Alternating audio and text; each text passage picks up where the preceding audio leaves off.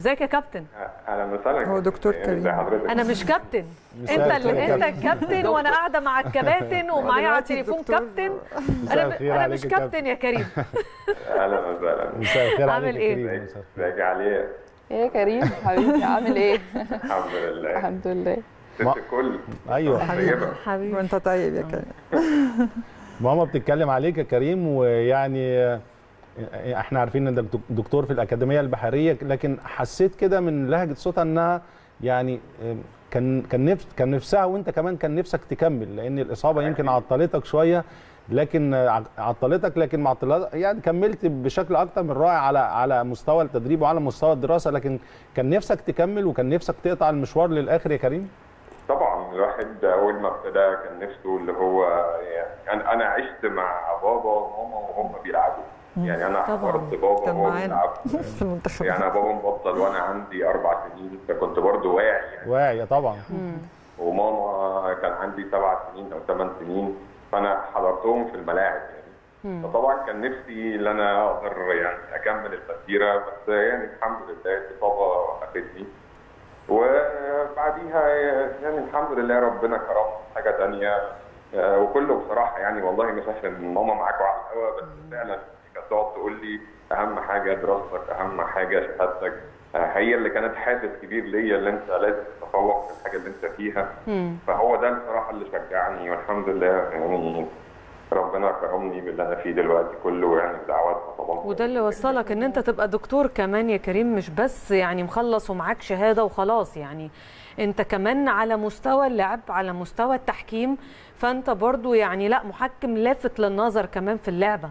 الحمد لله والله يعني برضو أنا الواحد ما يقدرش يبعد عن آه ما تقدرش ها ما أقدرش الكوميتمنت التدريب بتصعب عليا عشان آه. ظروف آه، شغلي. آه. فالحاجة الوحيدة اللي كنت أقدر بيها أفضل في المجال هي التحكيم. آه. كابتن إيمان عايزة تقولي حاجة لكريم؟ حاسس كده آه، أنا كريم بصراحة آه، الحمد لله هو الكبير العاقل بتاعنا وهو أكتر واحد كان supported لموضوع أخته بصراحة برضو معايا بره. موضوع في موضوع السفر؟ آه لأن هو برضو يعتبر آه، يعني أخوك يعني عشر سنين بينهم فهو آه، زي يعني الأب آه. الأخ الكبير صحيح. واللي هو بي كان بيعمل كل اتصالات مع بتوع الجامعة وكل حاجة supported يعني هما بصراحة هو وأحمد الاثنين نادين يعني بنتهم. آه، أكتر ما تكون أختهم يعني آه، اللي هم يعني بالنسبة له نادين متبنيينها آه، آه. بالذات كريم يعني آه. هي بنته يعني محدش يقدر يقرب آه، بالظبط يعني. واحمد هو حاسس بالمسؤولية عليهم هما الاثنين على أساس في فرق سن بينهم صحيح. كبير بين أحمد وكريم مم. سبع سنين وبين نادين عشر سنين فهو حاسس دايما إن هو مسؤول يعني. المسؤول عنهم. فهو دايما بيحاول آه، يوجه يسبورتد لحاجات معينة في اللعب وفي الدراسة وكان بيساعد كتير معايا في النقطة دي بصراحة يعني. فبشكره برضو على دور اللي عامله مع إخواته حبيبتي. ربنا يخليك. لا كريم دور مهم جدا إنك كمان تقوم يعني أنت كمان أنت عندك إحساس إنها كان لما تطلع هتعمل حاجة كويسة فأنت سبورت ليها وأقنعت كمان الوالد بشكل طبعاً. كبير جدا طبعا يعني إحساسك إحساسك إنك بت- بتعمل يعني بتقدم نجمة أو بت- بتعمل مشروع بطل. وخلينا نتكلم إن يعني أكيد المتواجد في النادي الأهلي بيكون بطل ومشروع بطل. لكن كمان الخبرات الأوروبية الخبرات على مستوى الباسكت بول حتى في أمريكا دي بترجع يعني بترجع بخبرات كتيرة جدا ورجعت النادي الأهلي بخبرات كبيرة جدا.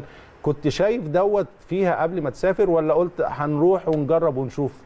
لا بالعكس أنا نادين أنا عارف إن هي من صغرها شخص طموح جدا ولما بتحط في دماغها حاجة خلاص هي بتبقى عايزة توصل لها توصل لها مهما كان في الصعوبات يعني نادين كانت بتدرس في ثانوية عامة وفي نفس. الوقت بتذاكر لوحدها.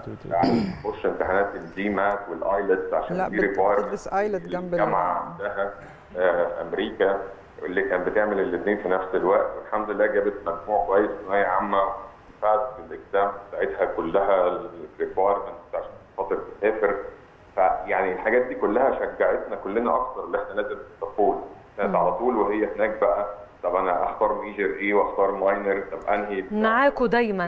ما تسيبكمش آه. آه بس كريم. اللي كانت مش. سايباها بصراحة ليل ونهار كابتن إيمان. كابتن إيمان بتقول لي أنا عشان فرق التوقيت. مش كلنا ليل ونهار. بالظبط بالظبط يعني. نديها الصحه ويخليهم لي يا رب. ربنا يخل... يخليها ليكم. طبعاً، بنشكرك. يا كريم. شكراً. شكرا. جزيلا ليك.